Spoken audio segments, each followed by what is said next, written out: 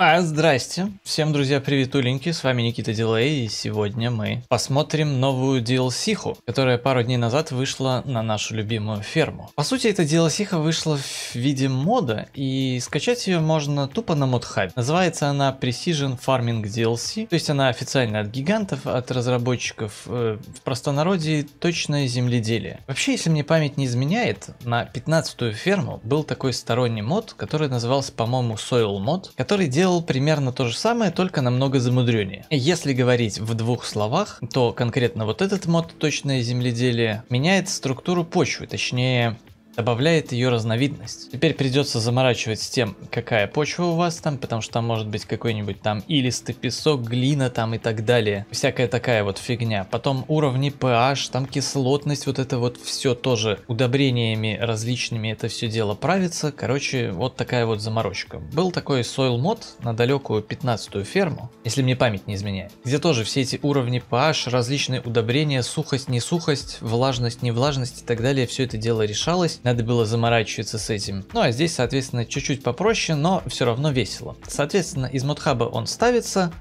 и соответственно потом в списке своих модов, вот он Precision Farming DLC, нужно поставить галочку и тогда у вас все будет работать. Начинаем игру. И пока, друзья, загружается, стоит отметить еще такой момент. Этот мод э, имеет какую-то прописку в игре. И я сейчас играю на золотом колосе, соответственно в самой карте нету некоторых вот этих тоже там прописок, файлов, короче, ругается. Он вроде как работает, но вроде как и ненормально он там работает. Из чего следует вывод, что скорее всего каждая карта должна быть заточена под все это дело. Разумеется, дефолтные карты заточены. Я думаю, что если у мододелов, которые карту делают, руки растут не из жопы, они это дело адаптируют. Но я сомневаюсь, что это будет работать э, хорошо прям на всех картах. Поэтому мы протестируем это дело на дефолтной карте, потому что на ней это точно должно работать.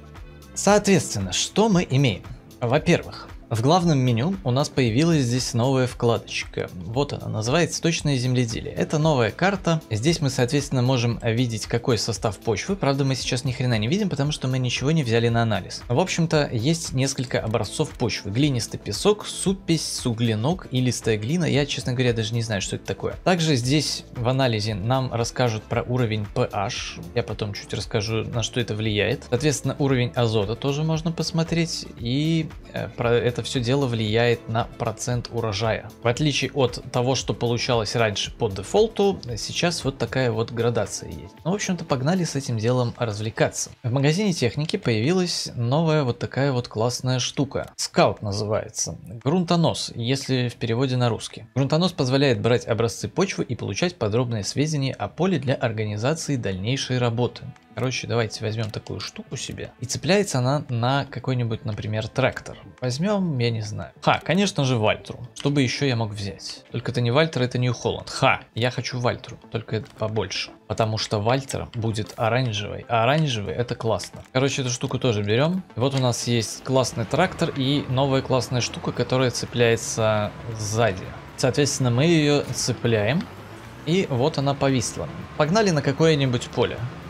И вот оно, первое попавшееся поле. Давайте его купим. Есть у меня на него деньги? Тут при покупке участка уже появляется какая-то информация и ожидаемый потенциал урожая. Можно, в общем-то, везде это дело покликать. Когда вы выбираете себе поле, по сути дела, вы можете выбирать потенциально, какой там будет урожай. Но все это дело можно потом будет подправить правильными удобрениями. Короче, возьмем вот такое. Покупаем этот участок. Но на этой карте все равно пока что ничего нету. Никакой информации абсолютно. Для этого этого у нас есть вот эта вот замечательная штука. Если мы откроем F1, мы, соответственно, можем посмотреть на кнопочки, как это работает. Эту штуку можно вот так вот развернуть, ее можно опустить и, соответственно, взять образец почвы. На карте у нас теперь появляется вот такой вот кружочек, и образец почвы у нас взят. Это происходит несколько секунд. Видите, написано взято образцов, соответственно, лучше это делать везде, чтобы мы, мы видели всю карту, все поле. Если поле очень большое, то, соответственно, нужно в большом количестве количестве точек это дело сделать. Можно по углам, например, чтобы понять какое-то примерное среднее значение, если поле очень большое, чтобы не тыкать каждый раз. И потом в итоге э эти образцы, есть кнопочка «Отослать образцы почвы на анализ». Соответственно, образцы отосланы, результаты скоро появятся на почвенной карте. Все это дело происходит в течение нескольких секунд, и поэтому оно сейчас появится. Правда, эти образцы почему-то стоят денег. Хотя, что почему-то? Он 200 евро. Короче, за один образец 100 вражеских. Внизу на карте у нас тоже есть информация, что за почва, уровень pH плохо и азот плохо. Если мы откроем карту вот с этой новой вкладкой, то мы соответственно видим, что у нас верхняя вот эта вот часть, тут вот суглинок вот этот вот, снизу илистая глина. Вот здесь у нас ничего нету, потому что неизвестно, что здесь я не добрал до этого момента. Я так понимаю, что если мы на него выйдем, то здесь, да, никакой информации просто тупо нету. Как этот мод будет дружить с дополнительной информацией о поле, тоже хрен его знает, потому что, по сути дела, они делают одно и то же. Далее здесь же можно посмотреть уровень pH. И видите, он здесь тоже разный. Уровень азота единственное практически одинаковый, да? Нет, не одинаковый, 0 и 20. И как же, друзья, нам разобраться разобраться, что хорошо, а что плохо, что дает хороший урожай, а что дает плохой урожай. На самом деле все просто, в игре есть справка.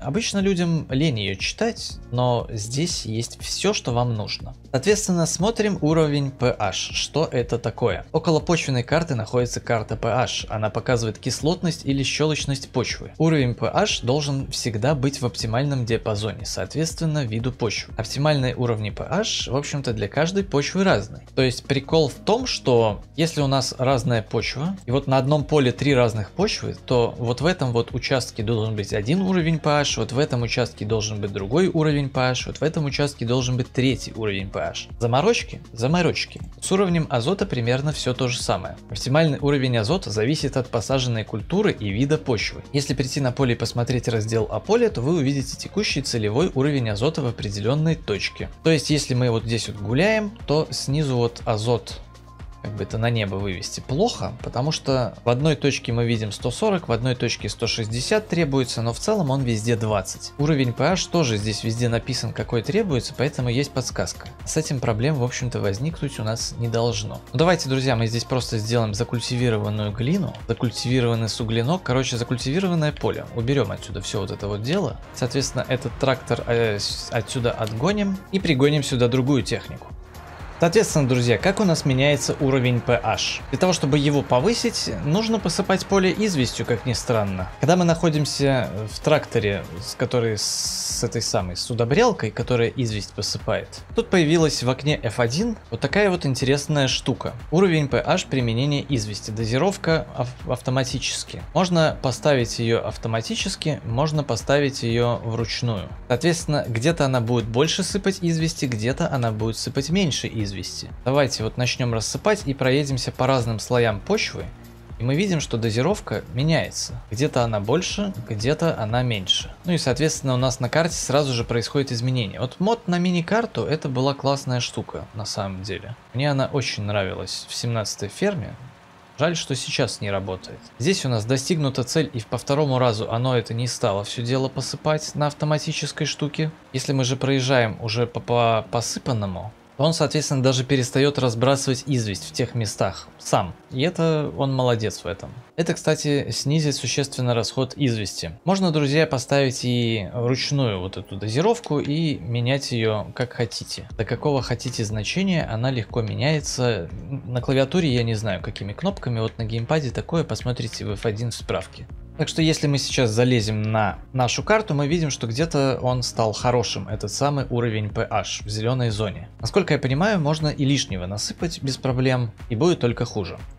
По поводу азота, друзья, все немножко сложнее. Уровень азота можно повысить с помощью удобрения или навоза. Жижа и навоз повысят уровень азота на определенное значение в зависимости от вида почвы. То есть, грубо говоря, посыпали все навозом и абсолютно на всем поле, в зависимости от вида почвы, правда, уровень азота повышается на какое-то определенное количество. Рекомендуется делать это до подготовки поля к следующему засеванию. То есть убрали старый урожай, может быть закультивировали, посыпали навозом а может быть и до культивации, как хотите. Минеральное и жидкое удобрение автоматически меняет уровень азота до того, что требуется культуре. Если она уже посажена. Его нужно разбросать на первых стадиях роста после посадки культуры. Дозировку всегда можно менять вручную. Соответственно, поиграемся немножко с жидкими удобрениями. Опять-таки, когда мы выезжаем на поле, мы видим азот применения жидкого удобрения и на миникарте у нас стало все это дело связанное с азотом. Опять-таки, при автоматической дозировке мы это дело поливаем и оно выводит на какой-то условно нужный уровень. Я не знаю, как это работает, но давайте, в общем-то, посмотрим на небольшой полосочке.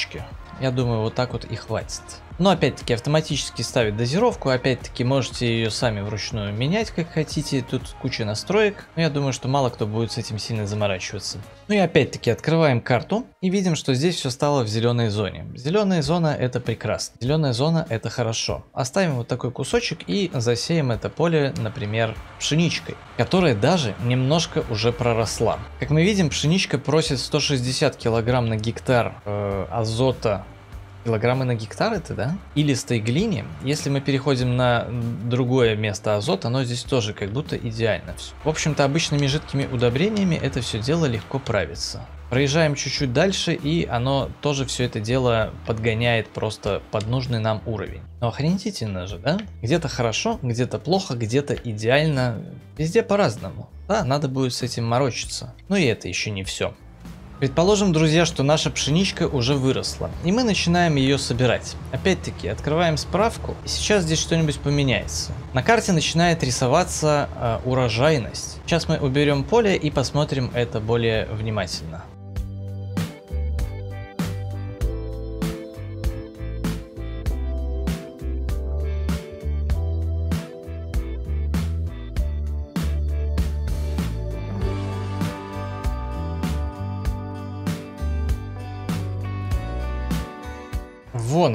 Так вот по-быстрому мы это все дело убрали. Я думаю, что вы не особо сильно заморачивались тем, как быстро наполняется бункер в зависимости от поля. Но вот э, я обратил на это внимание, и там, где мы убирали и становилось после этого зеленым, действительно вот невооруженным взглядом это было видно, наполнение шло немножко быстрее. Соответственно, открыв карту сейчас, мы здесь можем наблюдать, с какой части поля у нас собиралось 100% урожая, а с какой части поля у нас собиралось там условно 60% урожая. Если мы кликнем на этот участок, то здесь появляется такая точная статистика экономического анализа. Здесь также можно будет посчитать, стоит ли игра свеч. Потому что здесь появляется вся статистика, то есть начиная от того, что вы берете образцы почвы, раскиданная известь, сколько она стоила, удобрения, которое вы вносили, навоз, который все, что вы вносили в общем-то, семена, топливо потраченное на все это дело, даже обслуживание машин откуда-то берется, если у вас намет работает, то и здесь и он показывается, и в итоге сколько стоит весь этот урожай, и в итоге вы видите прибыль. Соответственно, это все дело можно будет сбрасывать и смотреть э, новую статистику после там следующего посева уборки. Ну а по кнопочке показать значение итоговое и со сброса вы переключаетесь и смотрите полную статистику этого поля за все время, которое вы играли. Ну еще можно очистить карту урожая и соответственно заниматься всем по новым. Плюс, когда мы собрали урожай, мы видим, что уровень азота опять упал. Соответственно, нужно будет его поднимать, внося туда удобрения. Как ни странно. Один-два раза в зависимости от того, что, куда, сколько надо повышать. Уровень pH, соответственно, не так быстро понижается, то есть мы раз, раньше разбрасывали известь раз в три посева, сейчас ничего не изменилось, примерно раз в три посева и стоит этим заниматься. Опять-таки, если вы нанимаете туда наймета, то он будет автоматически это все дело контролировать и разбрасывать туда нужную дозу. Также, друзья, в этом дополнении появилось два статичных объекта. Здание с базовой станцией РТК и сарай с базовой станцией РТК. Там, по сути дела, стоит GPS-приемник. Данная станция улучшает GPS-сигнал на технике. Это позволяет ИИ-помощникам лучше водить и быстрее работать. Соответственно, ставите ее в районе вашего поля где-нибудь, и когда вы нанимаете наймета, он будет быстрее как-то понимать, что нужно делать, какие дозировки и все остальное. Ну, в общем-то, да, новенькая вот такая вот заморочка появилась. Вполне себе интересно и имеет право на существование. Ждем единственное, пока все карты под это все дело адаптируют, и я думаю, что будет весело. Понятно, что вот на таком одном маленьком поле все это дело прочувствовать, наверное, будет невозможно. С одного поля заморочек здесь немного, но поверьте, когда у вас дохренище полей, это будет весело. А если вы еще вручную будете этим упарываться, в общем-то, может быть интересно. На этом, друзья, у меня все. Если кому-то помогла эта информация, то не забудьте поставить лайкосик, а кто любит прохождение по нашей любимой ферме, то подписывайтесь на канал, потому что у нас много всего интересненького, золотой колос и еще куча всякой фигни. Также пишите ваши комментарии по поводу того, что конкретно вы думаете по поводу всего этого дела. Всем, друзья, огромное спасибо за просмотр, с вами был Никита Дилей, всем всего доброго, пока-пока.